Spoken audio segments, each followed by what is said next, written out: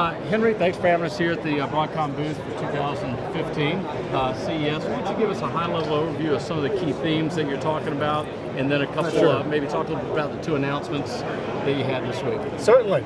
Well, I think from a high level, one of the big themes we, we're pushing and talking about is the connected digital home, because that is really you know the next wave of the future, where all the devices in your home are connected. We have a great demo where you can walk around and simulate going from room to room to room, and, and what happens in your connected digital home. So that we'll walk through in a second. Another major uh, announcement that we made is on DOCSIS 3.1, which is the next generation of broadband access to the home over cable, which will get you over a gigabit per second to your home, up to several gigabits per second. And then the third announcement is a next generation Wi-Fi technology, uh, 4x4 is called multi-user MIMO, which will get you reliable gigabit throughput in the home. So you get the, the gigabit access over DOCSIS, and then you can distribute that video content with carrier grade quality all around your home with this next generation Wi-Fi. So those are the three major things we can talk about. Well, Henry, I know you know as founder of Broadcom, you've got a lot of favorite children. But maybe walk us through here, and we'll maybe just give us a walking tour of some of your uh, hot spots for today, and our Sure. team will just follow you through. Perfect. Let's walk down here. First, do the connected digital home, and uh, it gives you a little bit of a sense here. You're going from you know, room to room to room, but I think that the heart of it is built around your set-top box, which is connected into the carriers, so they can provide you with innovative new services. So, for example, you're sitting in front of your living room and your TV set, and you can monitor many different things like doors that are unlocked, or you could uh, look at the temperatures in any given room. Uh, you can turn lights on and off. You can check your alarm status, or when it's ready for bedtime, you hit, you hit the lockdown button on your remote control, and the house shuts down, the doors lock, and you, you go to sleep. So it's like a central control room through your set-top box and your TV set, which makes it very easy to use rather than having to go to a dedicated control panel on the wall and set your alarm codes. You just hit boom, one button, and you're done.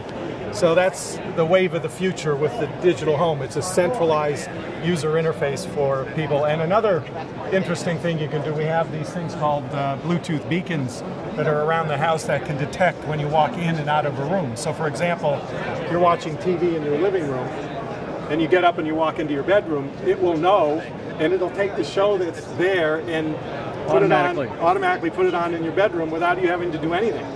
So clever things like that i- i- is the wave of the, the future of the digital home. So you talked stuff. about two announcements, the DOCSIS 3.0 and, and then the Wi-Fi 4x4 MIMO uh, uh, chip. Where would we see that in this living room setup? it's kind of behind the wall. Yeah. You, don't. It's not something visible to the end user.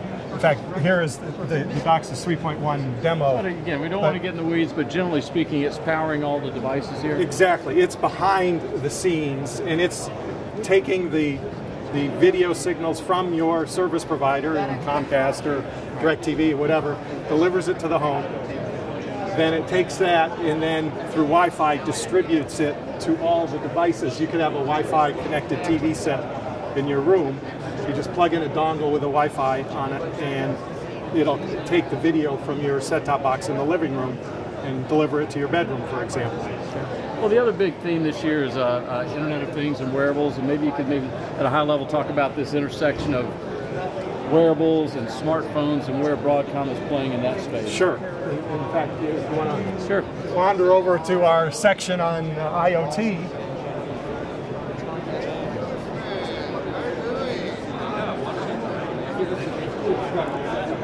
So this is our wireless and IoT section of the booth, and you can see here all the different signs talking about uh, the Wi-Fi and Bluetooth IoT products.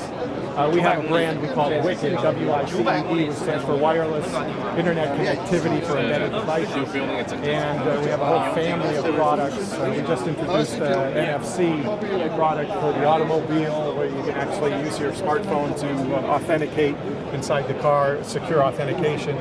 Uh, then we have Wi-Fi and Bluetooth uh, IoT products that go into various wearable devices, or you can have Wi-Fi speakers in your home and you name it. I mean, it, it, the applications for the uh, the IoT market are endless, and uh, you know, our goal is just to enable all of that with a platform we call WICED, so that the small entrepreneur can just innovate away and create all sorts of clever devices. So, you know, we try to be the, the software and hardware platform underneath the end product, and uh, we just give a, the whole array of different components as a toolkit that these developers can use to build their products out of. Great. Henry, thanks for your time. My pleasure. Thank you.